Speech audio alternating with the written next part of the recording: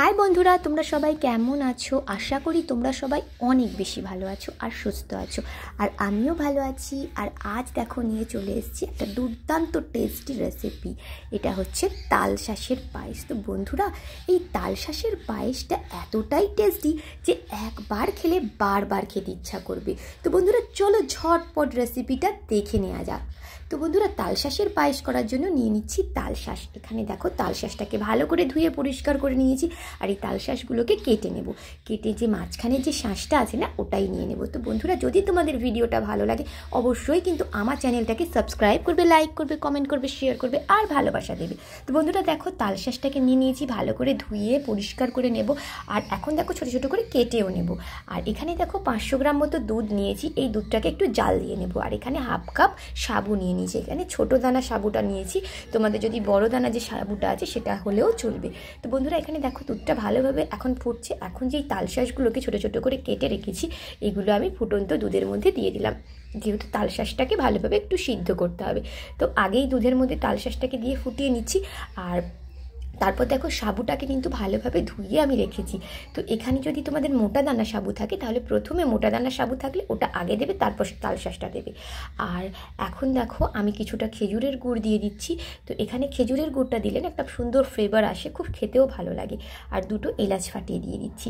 আর এখানে অল্প পরিমাণ চিনিও আমি দিয়ে দিচ্ছি। যেহেতু খেজুরের গুড়টা আমার কাছে কম ছিল, ওই জন্য আমি এখানে চিনিটা অ্যাড করেছি। বাট তোমাদের কাছে যদি খেজুরের গুড়টা শুধু থাকে, শুধুও তোমরা দিতে পারো। এই পায়েসটা খেতে কিন্তু খেজুরের গুড় দিয়ে বেশি ভালো লাগে। তো বন্ধুরা, দেখো এখানে ভালোভাবে নেড়ে চেড়ে আমি মিক্স করে নিচ্ছি।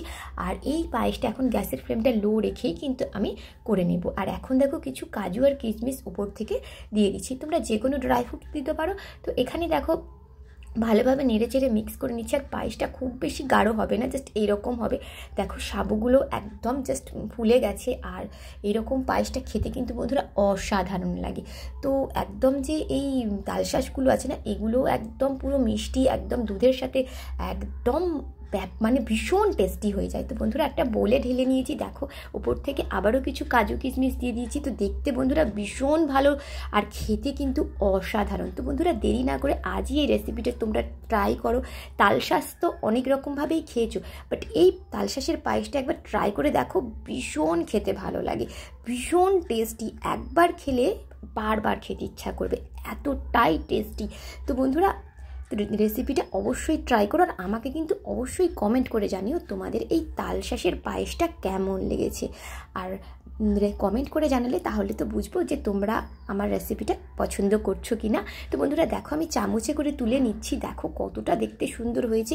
আর দেখতে শুধু সুন্দর হয়নি, খেতে কিন্তু বন্ধুরা জাস্ট অসাধারণ। তো বন্ধুরা, আজকের ভিডিওটা এখানেই শেষ করছি। দেখা হচ্ছে আবার এর পরের ব্লগে বাই বাই বন্ধুরা।